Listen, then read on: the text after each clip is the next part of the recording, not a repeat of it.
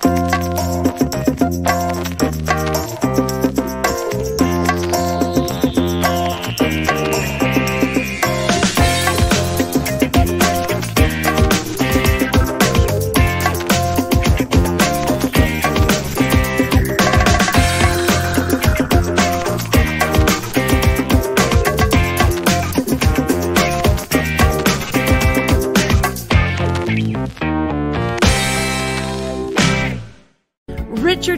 celebrates. Every show is a celebration. Richard Skipper celebrates the best in entertainment. Each show, Richard delivers the artists you love, showcasing what makes them unique. Never gossipy. The antidote to a sometimes hectic world. Now, here's your host, Richard Skipper.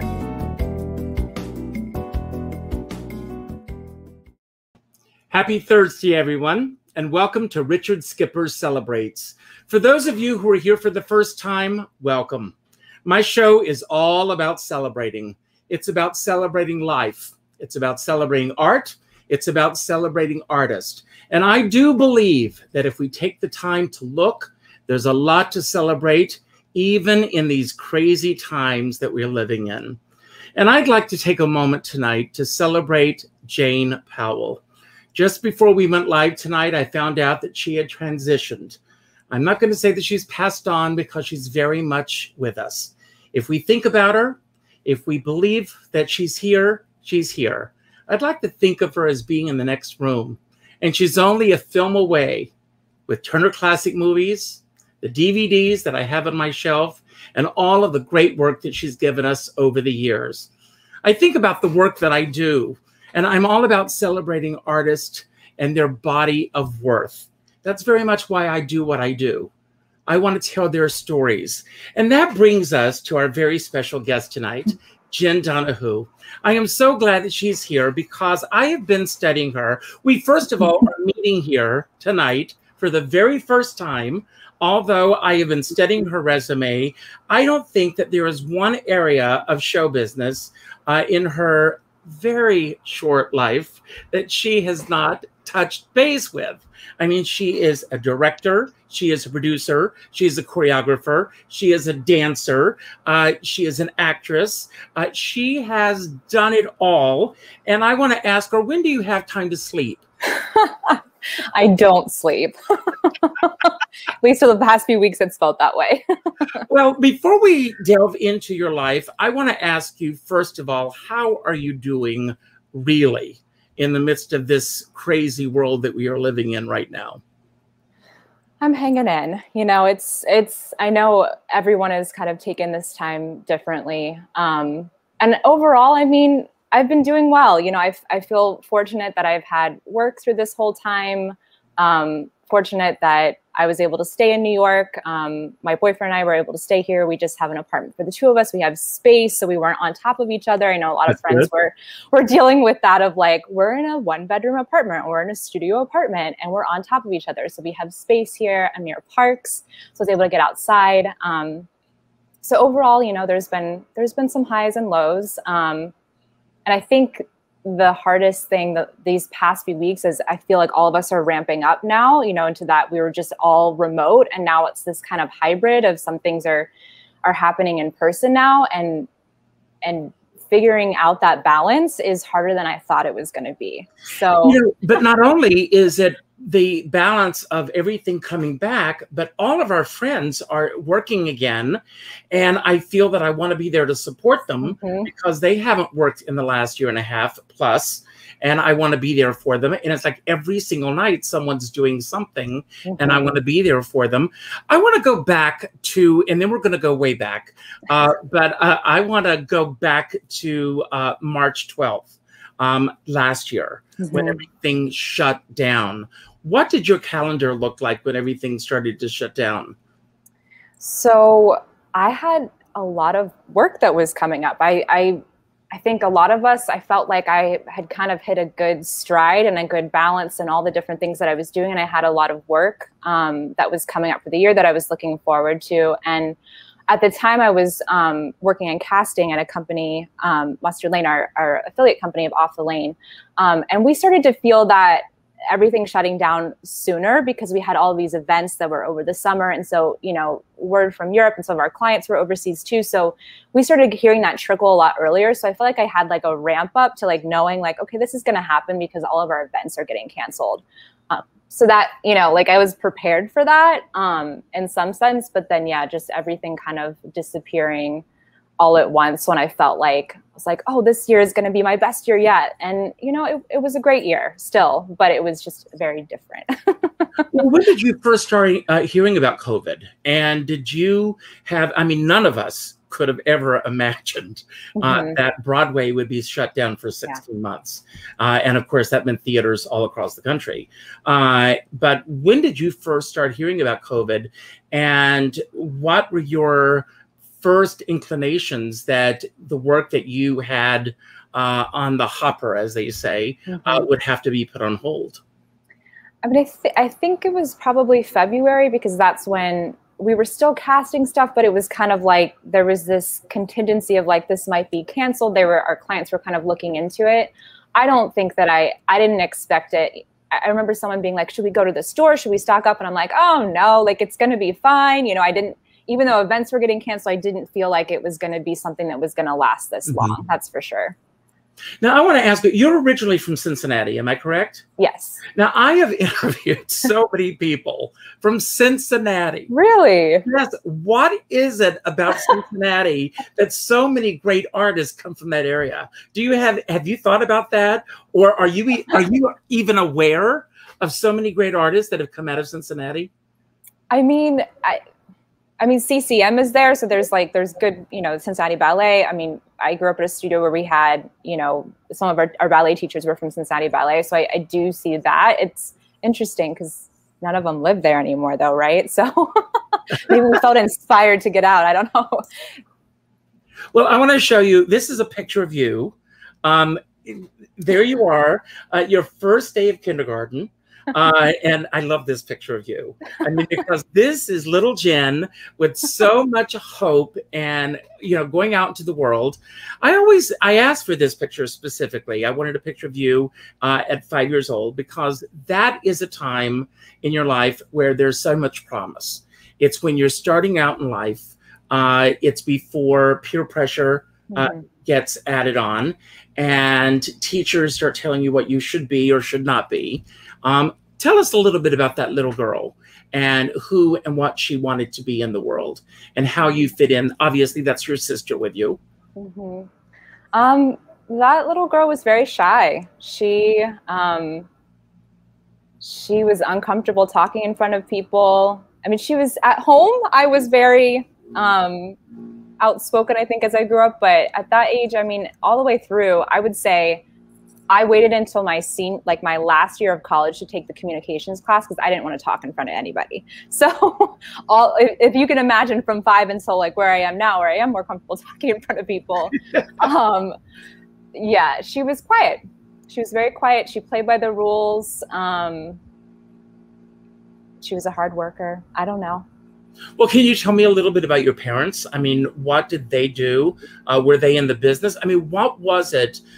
When did that spark happen where you said i want a career in the arts uh, so the dance studio that i grew up was actually um, owned by a, um, a high school friend of my dad. So that's why that's how we got into it. None of my my family is, is musical. You know we had we always you know every holiday was like playing we would watch the music man or white christmas. We were always singing. We had you know i was in choir growing up. My cousin was as well. My um, my dad and my grandfather they played instruments but no one was a dancer that i can recall.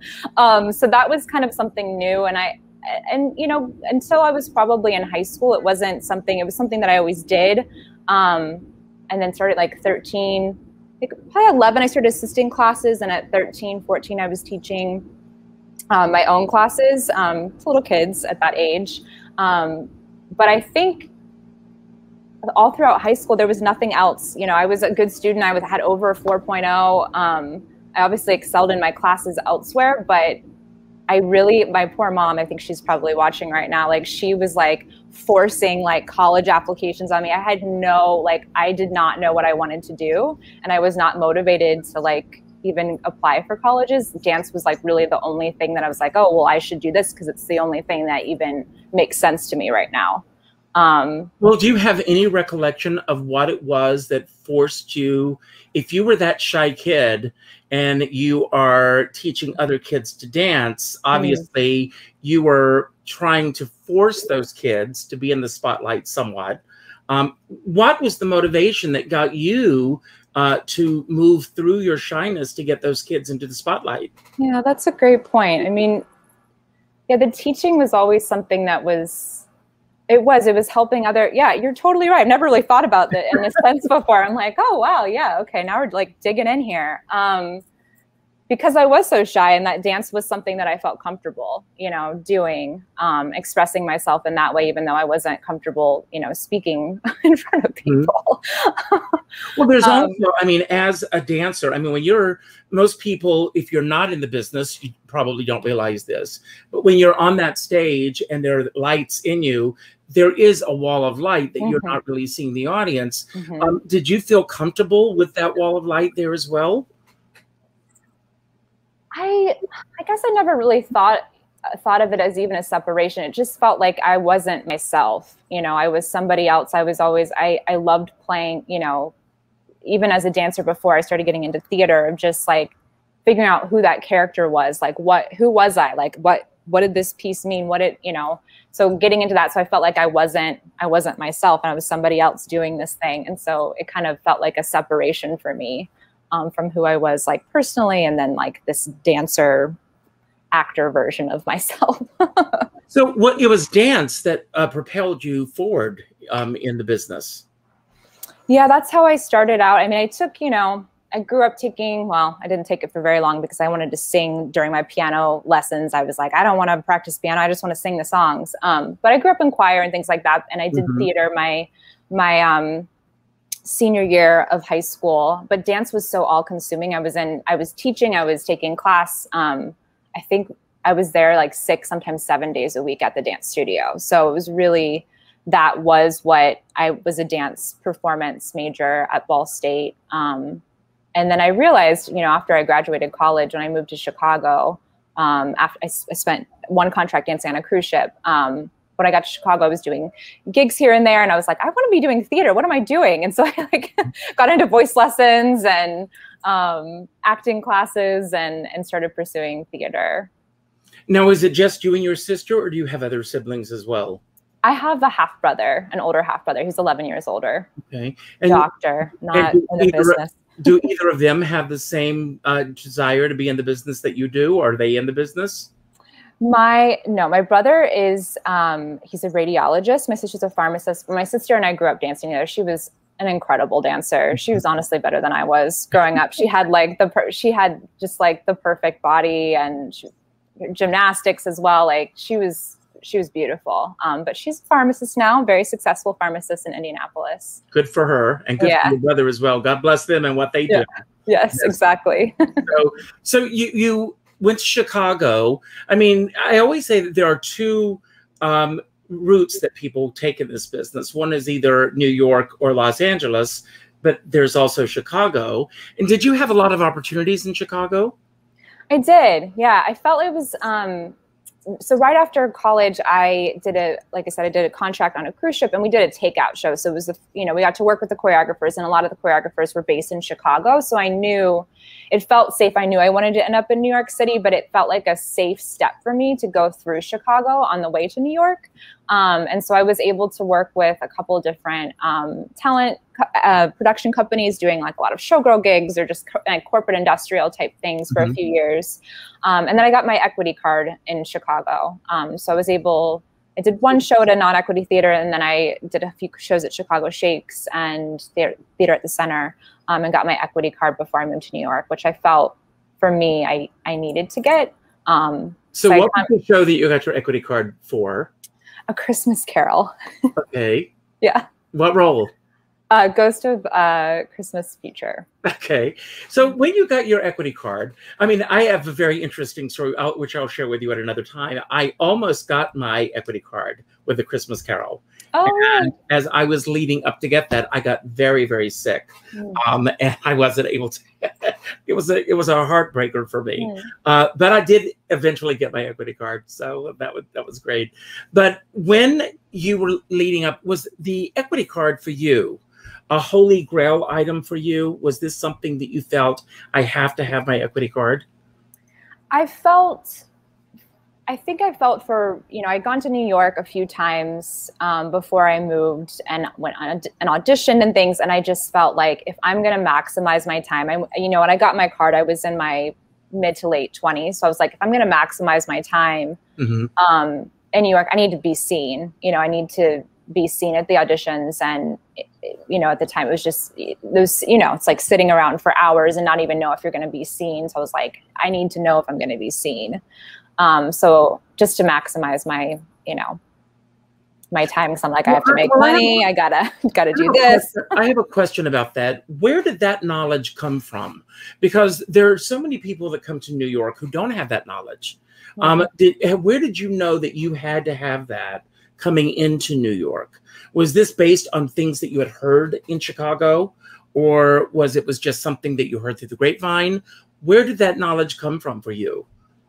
I guess it was just in I mean, it was an experience, right? So it was me going to New York, not having my equity card and being like, "Oh my gosh, okay. I'm sitting here for hours and I didn't get seen. Where'd my whole day go?" And just thinking like I'm always like about efficiency. So I'm like, how am I going to make money if I'm sitting here for you know, it's like I got to make I got to pay rent, you know. So and then I had, you know, I had friends in Chicago that were like, well, if you stay in Chicago, you don't want to get your equity card because you'll get more um, opportunities um, with the contracts there. They don't, they don't, they don't offer as many equity contracts. So it's like you'll have more opportunities to perform. If you don't have your equity card in Chicago, but in New York, it's the I'm going to sit and maybe get seen, maybe not get seen. So mm-hmm.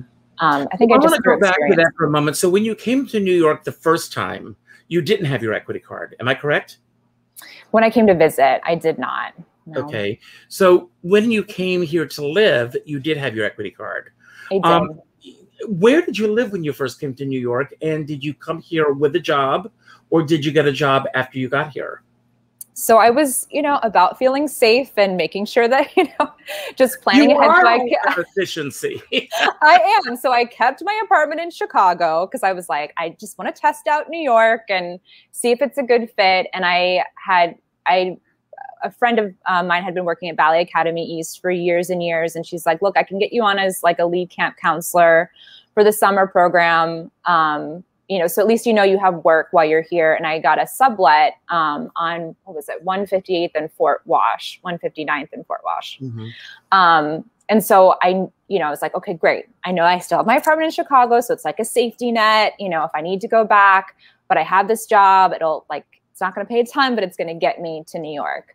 Um, and within two weeks of being there, you know, it was like the middle of July. It stunk. It was hot. It was sticky. And I was like, I love it. I want to be here. So um, from there, I I think I moved sublets like I don't even know. It was like 160th in Fort Wash. Then it was I think I moved my sublets before I got my apartment like five more times before I moved into the apartment that I'm in now. You're I slept on the floor like. yep, I had the whole in that one that first year of living here, that whole New York experience of like sleeping on the floor, living in all these like roach infested, fly infested places, you know and then I've been in this place since 2013 and I love it. Oh, that's great. And what kept you going? What I mean, what was the impetus that just you knew that you were going to just keep going against all odds here in New York?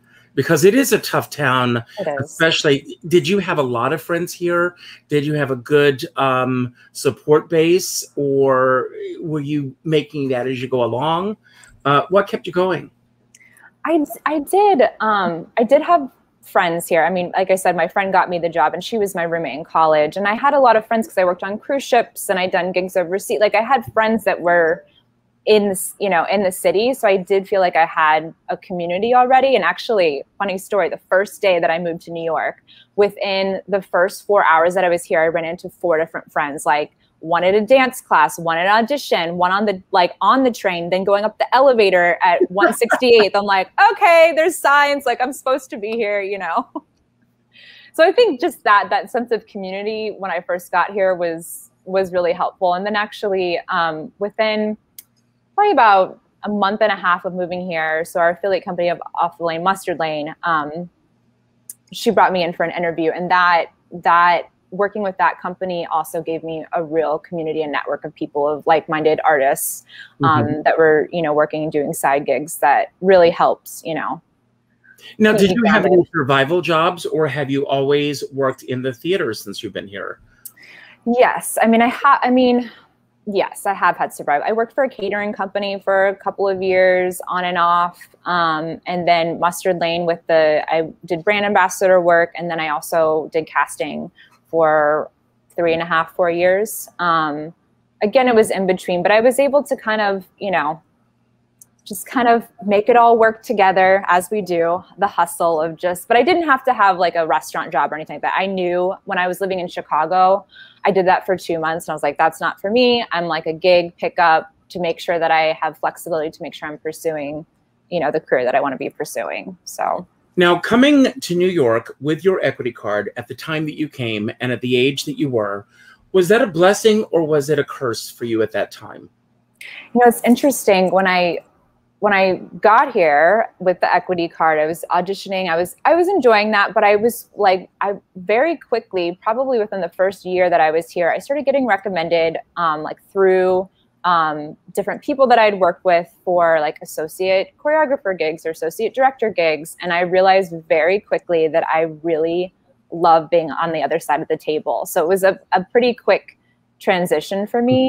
Um, and, and I, you know, a lot of people, a lot of my friends have been like, they have like making peace with it. I was actually like 100% okay switching to the other side of the table. And I, I love it. You know, I, I think I mentioned before, you know, I started teaching when I was and assisting when I was 11. So it's always been a part of like who I am is is working like on that. And I think it just you know being able to have the experience of like you know I've been on both sides of it. So and I just love seeing everything come together. I love mm-hmm. collaborating with people.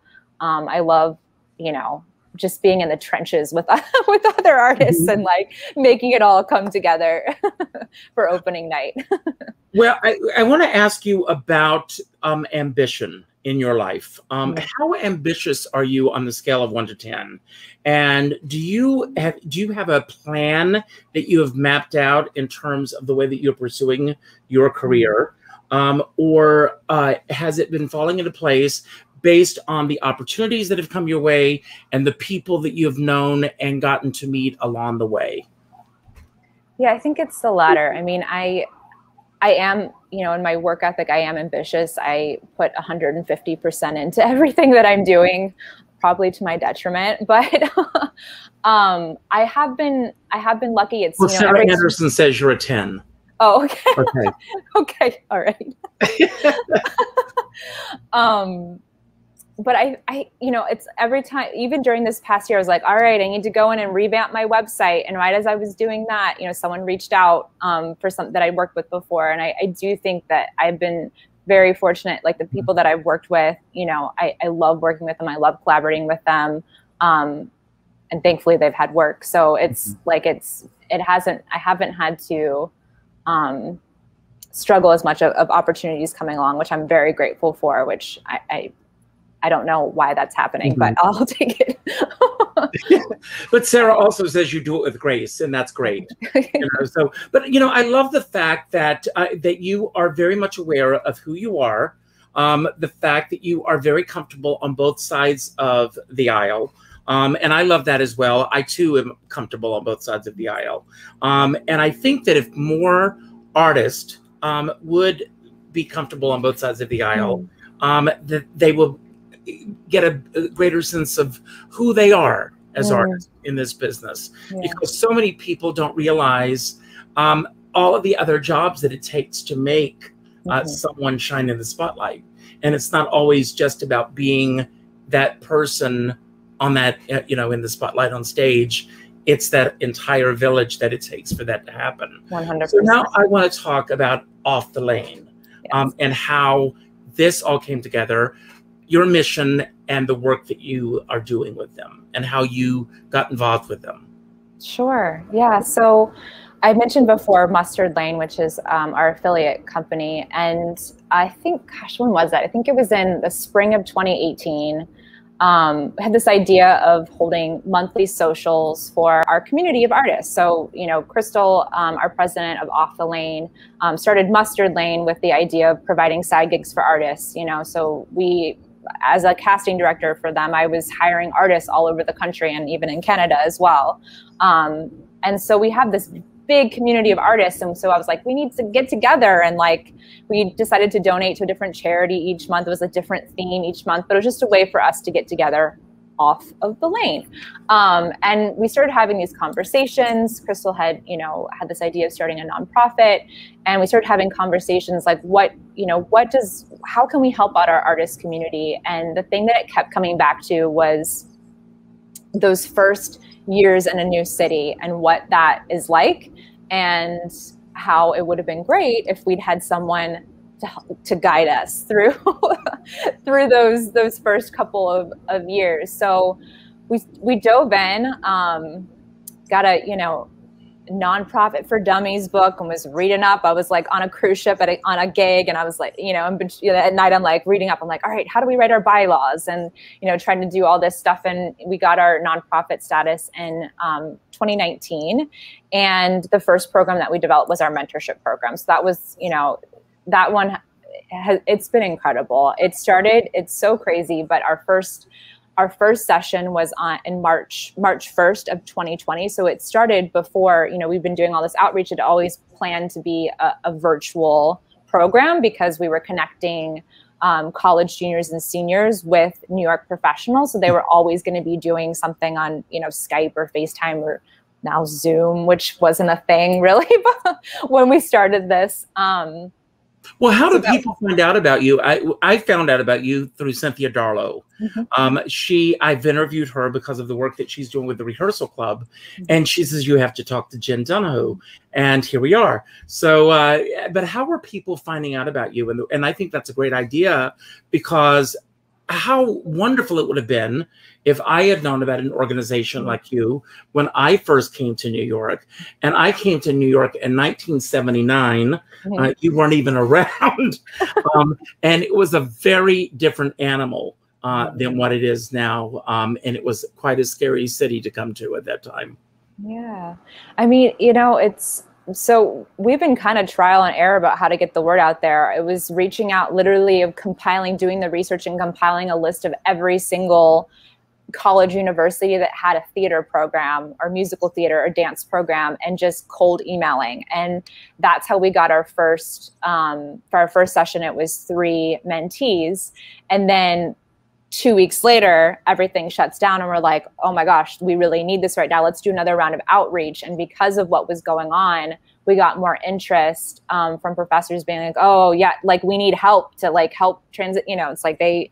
So we had four. We did a kind of an in between session. We had four mentees, and then from there it just kept growing. That summer we had ten. We had nineteen in the fall of last year. We had we capped it at 25 um, earlier this year, and then we have about uh, 18 going through the program right now. Um, and now it's gotten to a point where most of it's word of mouth. We send out, you know, an email to, um, you know, maybe one round of emails to people that have gone through, but it's it's definitely word of mouth, which is really exciting. Um, Are you doing a lot of your work now virtually now because of COVID? Is that where most people are finding out about you? Yeah, everything's I'm working out of my apartment. so all remote. Yeah and our other programs that we've been developing um, our boost program as well. Um, our boost co-chairs have been working. These are with um, people that have been in new york for a few years. Um, it's kind of a they're like career therapy in a way of just like kind of refocusing and like helping boost where they are in their career. And so they've been meeting with their boosters um, remotely um, we actually just had um, two weeks ago, we had um, some B roll filming for our fundraiser, um, our Empower Artist fundraiser that's on November 8th. Um, and we got to meet some of our boosters and mentees in person for the first time. We're like, oh my gosh, it's just fun to meet them like in real life. well, I was reading a great book this morning uh, called uh, My Morning Routine, and it's mm. all these great, famous people you know, throughout history and their morning routine. Mm. I want to know what your morning routine is.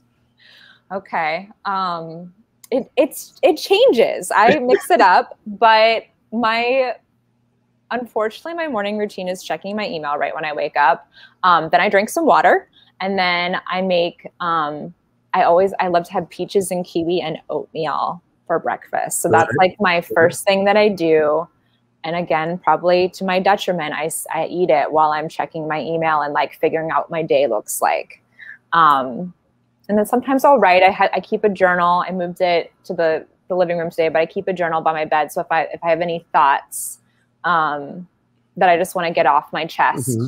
first thing in the morning, I'll I'll just kind of scribble. Like it might be just a sentence, it might be a poem. Mm-hmm. Um, so sometimes that's in my morning routine, but I'm all about breakfast. I have to have breakfast right when I get up, otherwise my day is a failure. mm-hmm.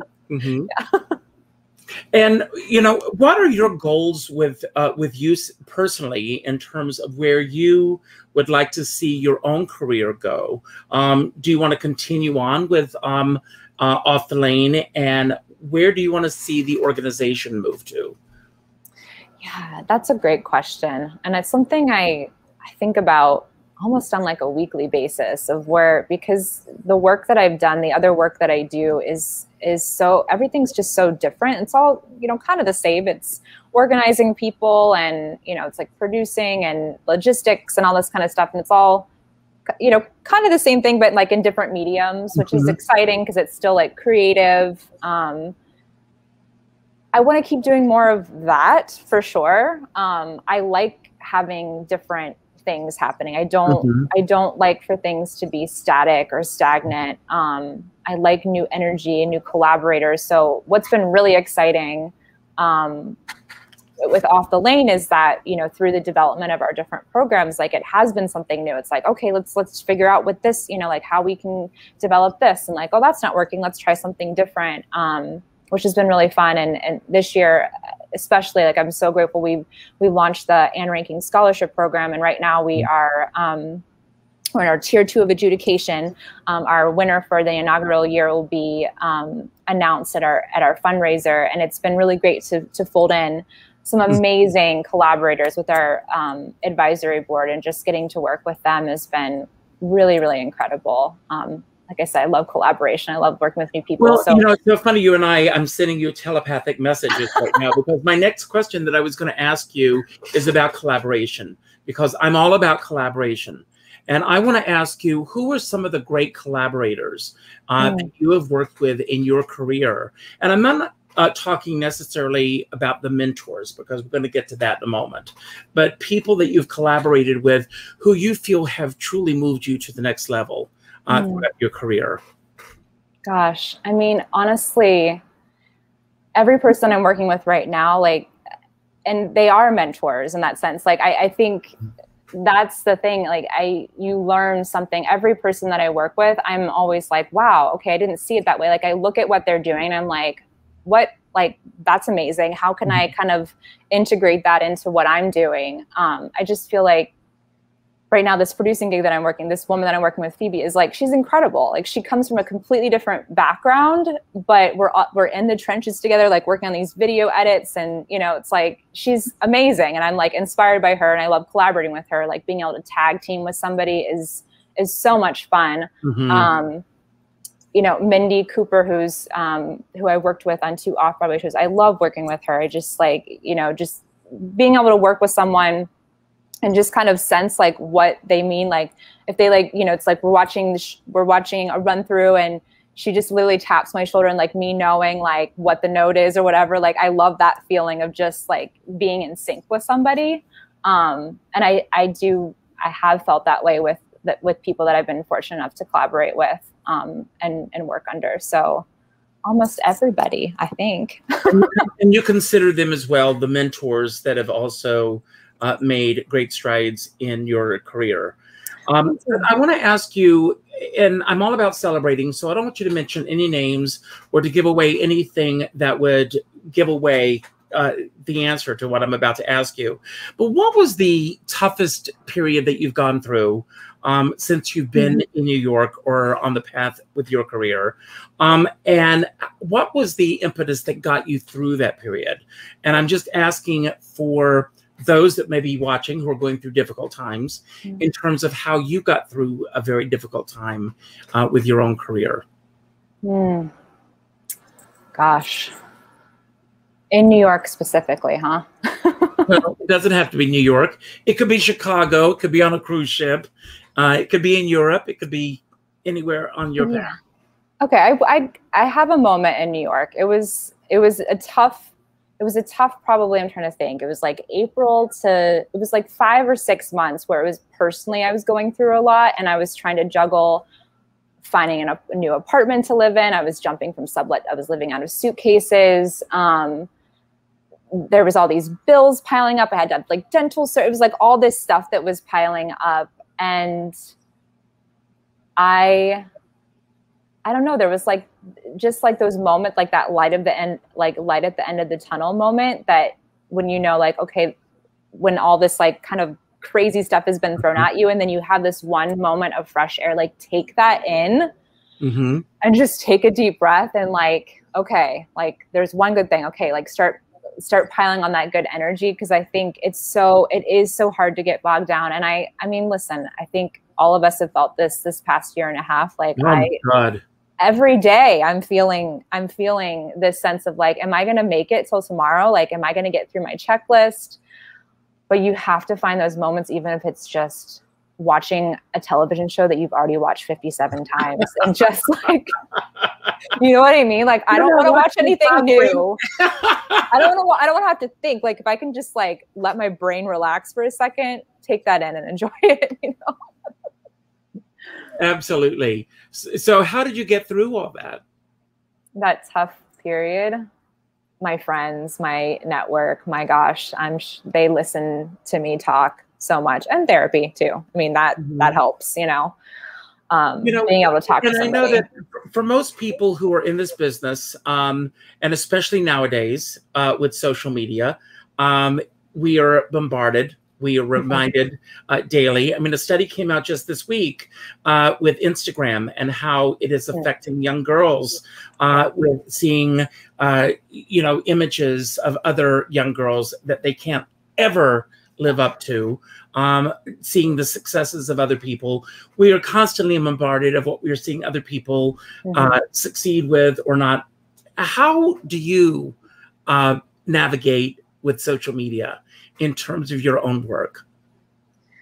I God, my well, if you looked at my social media, I have several accounts. I have like my poetry stuff. So when I feel moved, I like just post that on there with beautiful pictures that I take. My personal one, I have really slacked on because and I only post when I want to, and it's normally pretty pictures mm-hmm. of like my travels. um, but I mean, navigating, uh, seeing other, I honestly, I love seeing other people's successes like that. I don't know that that has really ever, I'm sure I've had like moments of it where it's like, oh, we were up for the same show, but I love seeing other people succeed. Like, I love that they're doing amazing things. I, I want to share something with you. I mean, George Chakiris uh, from West Side Story, I interviewed him earlier this year. Today was his birthday. I was watching another interview of him today, and I congratulated the guy who uh, interviewed him. Mm-hmm. And the guy wrote back and said, I'm a big fan of yours, and I'd love to interview you sometime. Oh. And that really, it was like, came out of left field you know, and all I did was just compliment him. Mm-hmm. It takes very little effort to do things like this. So I think it's very important for all of us to acknowledge those mm-hmm. that we may think of as competition or mm-hmm. in the same field as us. I think it's important for us to do those things. Definitely. I mean, you have like you we're a community. We're all like in this together. Like we have to support each other. I said about that tough time, the tough times in my life, if I didn't have my community, my network of friends, like what do, what do you have? You know, what do you fall back on? I've always I've always thought that my friends were just the most important thing to me. My friendships were so. Well, I want to ask you, how many years have you been in New York now? So I moved here on my birthday, actually, in 2012. Um, how many is that? nine? Nine, a little over nine. What changes? Yeah. I mean, excluding COVID, which is the biggest change for all of us. But what uh, what changes have you seen in the industry since you've come here? And what changes have you seen that you absolutely love? And what changes have you seen that you're not so crazy about? Hmm. That's a good question because I feel like the last couple of years I've the the projects that I've been working on have been taking me outside of the city. So I feel like I've actually missed a lot of the cha- like I've heard mm-hmm. about, you know, some of the changes, but I just I feel like I've missed a lot of them mm-hmm. because I've been you know, working elsewhere. Um which I guess is maybe a good thing because mm-hmm. I've away from all like madness. I mean, you know, you see on equity like um, you know, discussion boards and stuff. It's like every once in a while, if it pops up in your Facebook and you go down a rabbit hole and you're like, oh my gosh, like I support what's going on here. Probably not. Um, so, yeah. And as far as COVID is concerned, um, you know, a lot of changes have, you know, are taking place. I mean, there are things that have happened this year, and I think also because we have all been placed in the same bubble this past year. Um, I think it's shedding a light on a lot of things with yes. an intensity that we have not really acknowledged before, such as diversity and um, uh, the Me Too movement and other mm-hmm. things that we're really looking at in a way that we probably never would have looked at. 100%. you know, under the scrutiny that we're looking at. Um, how are these things that are happening, such as diversity and the Me Too movement and everything, how is that affecting the work that you are doing? Uh, you know, with uh, with um, off the lane productions and everything. Uh, how is is that making a major difference in terms of the way that you're uh, looking at your work now?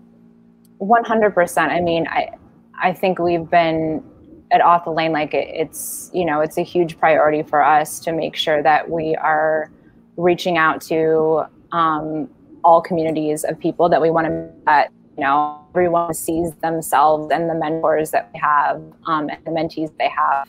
Um, so that's definitely a priority, and it's been interesting. Like some of the gigs I worked on the Disney, the Disney upfronts, and just seeing their.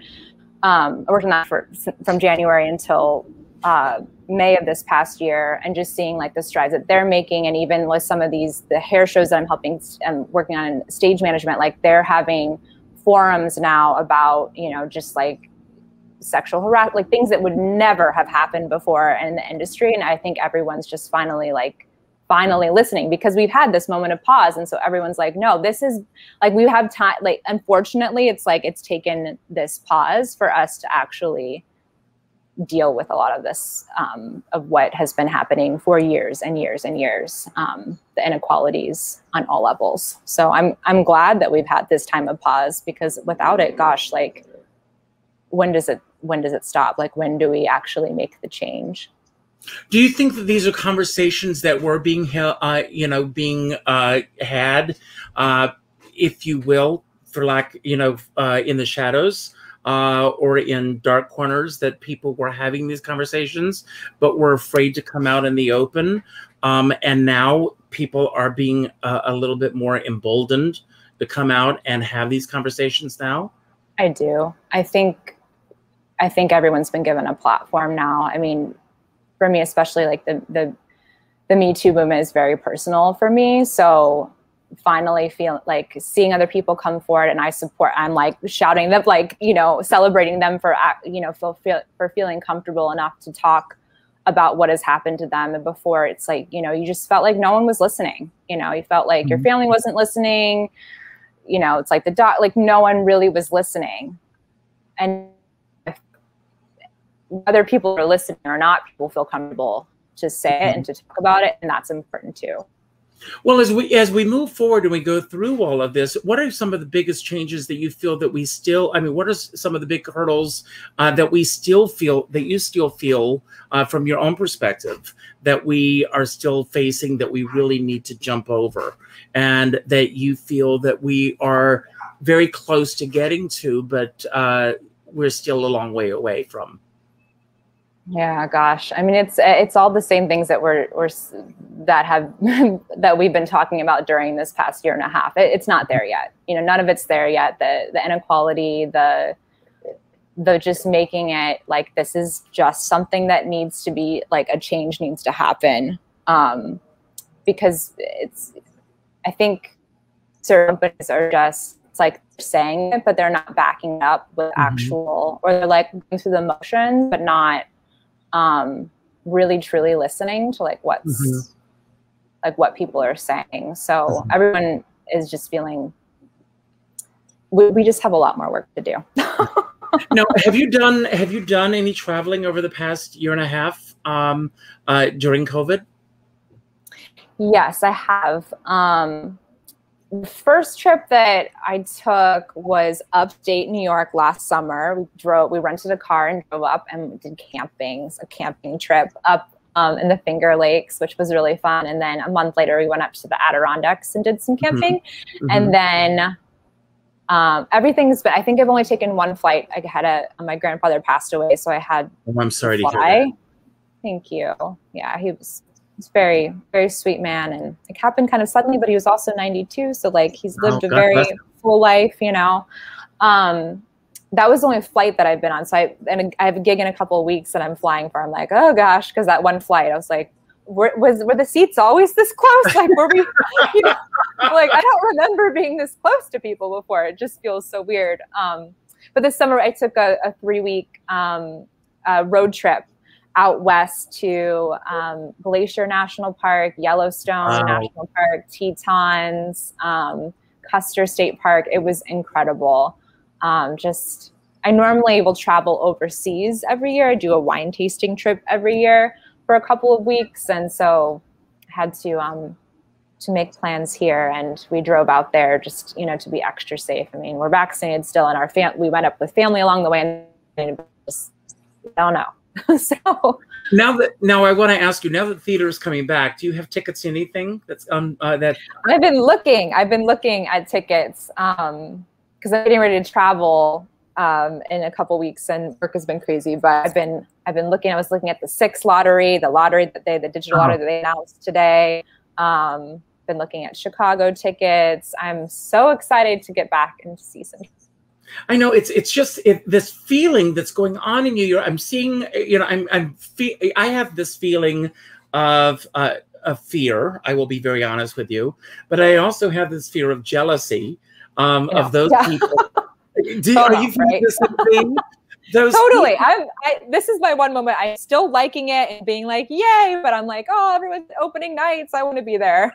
I want. You know, the other night when when all the theaters were uh, the theaters that did open, seeing all those people that I mean, it must have been pandemonium when Kristin Chenoweth walked on stage uh, at the Minskoff, you know, to welcome the audience back to Wicked. Um, and it's oh, like, oh, yeah. you know, th- this, these love fest and how much, you know, we've needed this uh, mm-hmm. coming back. Uh, so, um, and yourself, I mean, you've talked about all the work that you're doing behind the scenes and, you know, uh, on the other side of the aisle. Um, what about yourself? Do you want to get back on the boards again? Get back on the, get back on. you want to perform again yourself? I don't think so. Not right now. I mean, I I don't I don't know. I'm loving I'm loving where I am right now being on the other side. Um I do miss singing. I mm-hmm. I do miss that. Um but I really I like where I'm at. I like I like you know being on the other side and directing and making it all come together. So is there a particular role that you would love to play? I think it would be so my so my first equity show I did Follies at Chicago Shakes, and um, Phyllis is kind of a, is a fun role in Follies, and Caroline O'Connor was our Phyllis, and she was incredible, and I would have loved to have been that role in that show.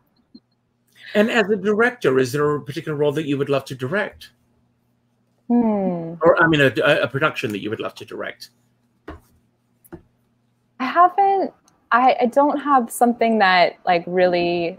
I just every project I think is just interesting and, and fun in a different way and a different problem to solve and so there's nothing that's really like it has to be this or nothing else. Okay. Well, as we begin to wind down, I'm going to play a little game with you. Um, and this is my little homage uh, to James Lipton and uh, Inside the Actors Studio.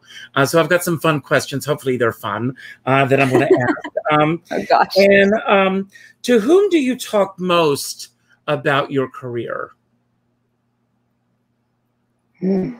Probably my boyfriend or my friend Bobby. Is your boyfriend in the business? He is a, um, yes, he's a production designer. Okay. And what is the one thing that most pleases you about uh, what's ahead in terms of your own work? Um, what most pleases me? I just think the the versatility and what I get to do is really exciting. Okay. What news do you most fear hearing? Hmm. Oh gosh. Um, just, I mean, anyone that's hurting, anyone that's in pain, anyone that's gone through something that's really just where they just feel like they're they can't come back from it. Um, I empathize with them. Yes, empathize. That's the. Uh, what is your worst addiction? worst addiction. Um, worst, huh? Uh, pro- uh, I don't know. Probably anything that has so like things that I like cheese. I'm lactose intolerant. Um, so if I cheat and have something that has dairy in it, that's not good. My stomach hurts. So anything that has dairy in it. uh, what is the biggest advantage that you have going for you? I I think adaptability and versatility also. That's great. Uh, what is the boldest thing that you have ever done?